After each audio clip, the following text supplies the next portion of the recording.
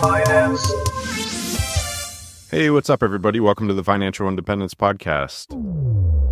Last time I read through one of my old posts and it seemed to go down really well, so I figured I'll do one more. And this one is on a similar topic as the last one, so I think it'll fit quite nicely. And the one I'm going to read today is The Power of Quitting. And this was originally written way back in 2014.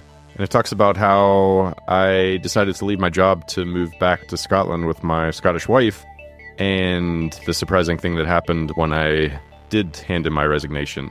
So, hope you enjoy this one, and I'll come back on at the end and give my feedback because a few of you reached out after last episode and said, Yeah, really enjoyed listening to the old post, but it'd be great to hear your take on it now, considering, you know, it's now whatever, eight years later.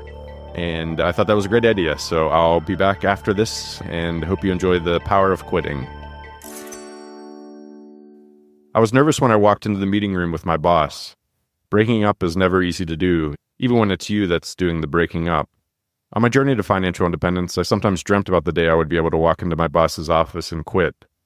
On particularly bad days at work, I would think about all the things I would say, and that would help make the hard times easier to get through. As I sat there, though, chatting nervously about work, I mainly thought about the things that were good about my job. It's amazing how you're able to see something in a different light when you don't feel trapped by it. Yet another unadvertised benefit of pursuing FI, I guess. Finally, after enough procrastination, I just came out with it. I'm moving to Scotland. My boss was obviously shocked, but the words that came out of his mouth actually surprised me. Would you consider staying on remotely? Although I was surprised that this particular boss asked me to stay on, this is not the first time this has happened. I started my career in Scotland, and when my girlfriend, now wife, and I decided to move to the States, I handed in my resignation. Shortly after, I received an email asking if I'd stay on remotely at roughly a 20% higher pay rate. When I worked in Scotland, I would have had to beg and plead to squeeze out an extra 1% in my annual review. But here they were giving me a 20% bump to work in my boxers and a t shirt. I obviously accepted and worked happily like that for over a year. This is not even the second time this has happened. I got my second job in my career through a technical recruiter in downtown Boston. After working with a particular client for a while, I asked the recruiting firm for a raise and they said they had to fight hard to get me a 4% increase. When I left Boston to move to Vermont, I was contacted by the client I worked for and was asked to work remotely full time for over 50% more than I was making when I had to commute into the office every day. It gets even better. After working in a cabin in the woods of Vermont for a while, I started to go a bit crazy, so I decided to apply for a job at a university that was close by so that I could get a free Ivy League degree. When I told my Boston boss that I got another job, she instantly bumped my pay another 20% to try to persuade me to stay even longer. So, why am I telling you this? I realize remote working may not be an option for all of you, but the important thing to take away from the story is that having the courage to quit provides opportunities that you may not even know exist. The best way to get that courage is to have enough money saved up to not need the job, even if for only a few months or years. When I worked at my Scotland job, I would have never imagined that one, remote working was possible, and two, I would be able to get a 20% raise. Had I just asked my bosses for either of those things, they would have laughed me out of the office. When confronting my bosses with the option of either going through the hiring process again and rolling the dice with someone new, or offering me a more attractive work arrangement to keep me on, it was a no brainer for them. So, how can you use this to get to FI quicker? You should work hard at your job, become a valuable employee, and then after a few years, apply for some other jobs. There's no risk in applying for a new job every once in a while, and only good things can come from it.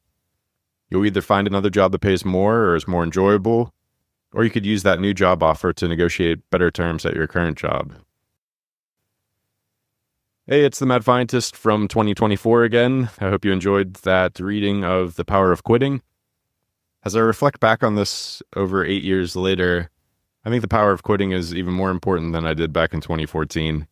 As I've written about in years past, leaving your job completely is a whole other can of worms. And I think rather than racing to that finish line, thinking about how you can improve your current situation and your current job is way more important, I think, because one, you're not delaying your happiness. And if you are very unhappy at work, it makes a lot more sense to make your journey to financial independence a lot better by finding work that you do enjoy. And the best way to do that is from a position of strength. So if you have a current job, you're going to be so much more appealing to recruiters or to other managers.